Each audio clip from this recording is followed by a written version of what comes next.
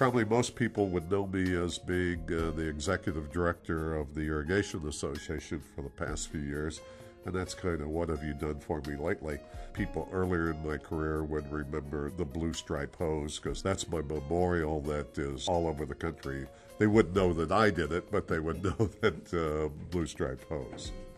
Family businesses, while difficult some days, are very rewarding and the opportunity for Sue and I to work together, to have our sons join us in the business, and to continue the business and to sort of grow an extended family of employees uh, has been a, a very rewarding uh, experience. So, very, very happy with the way life's turned out.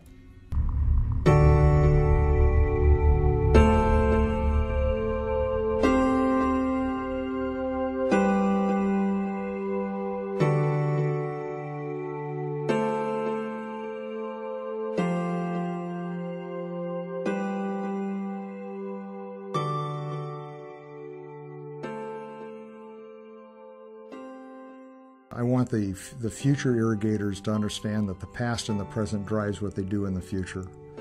And that includes water quality, how it's applied, and uh, the fact that they're going to have to deal with water as, uh, shall we say, an emergency device to deliver nutrients and health to turf grass, plants, trees, whatever it might be.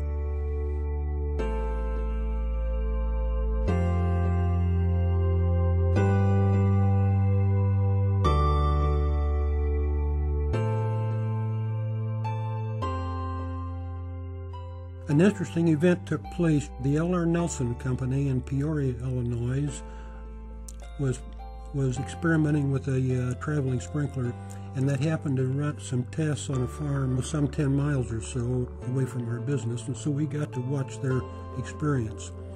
The thing worked well. It used a 3 inch by 660 foot hose, and they supply the hose in the middle of the field and loop it back both ways so the distance of travel is two times the length of the hose, and in that case, that's a quarter mile. There's a saying that goes something like this In order to know where you're going, you need to know where you came from. And the future irrigators uh, should know the history of irrigation and how it started and how it began because it's fascinating, number one. Number two is it wasn't that long ago. I mean, it's all in our era.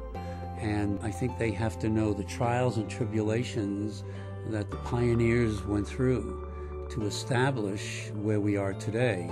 And we're still in a, um, um, you know, just in its infancy.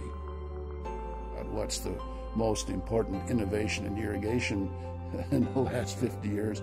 Unquestionably, center pivots and there's now 28 million acres of center pivot irrigated ground and, and, and drip micro and all the other things come along at about except for surface of course come along at three or four or five million so that's the single most important not usually believed by people in california but that's the single most important irrigation development in the last 50 years maybe the whole century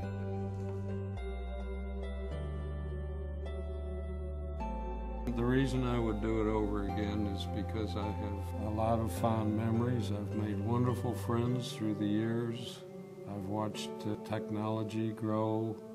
I've seen a lot of changes, and I've, I've been able to uh, work in education uh, information. I've worked with the Irrigation Association. I've been one of the founders of ASIC, and it's just been a, a very nice road all the way.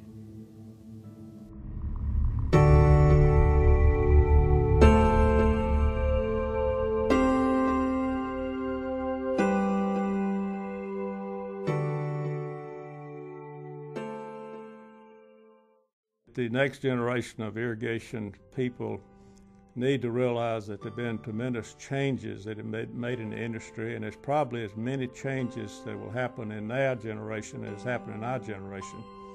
And yet, if you look at uh, all advances that have been made, you say, well, how can possibly be more advances made? But you know, I think about such things as uh, pivot irrigation, micro irrigation. These have all come about uh, during the time I've been working in the industry.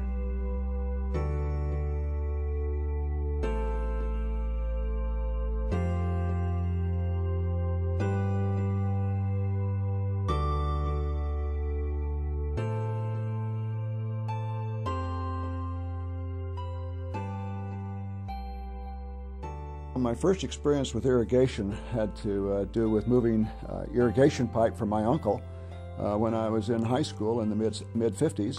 Um, and then after I went to college and I got a job with the Agricultural Research Service, we were doing some research on uh, irrigation and, and runoff and erosion, and we had some experience there. And so that's how I really got going in it.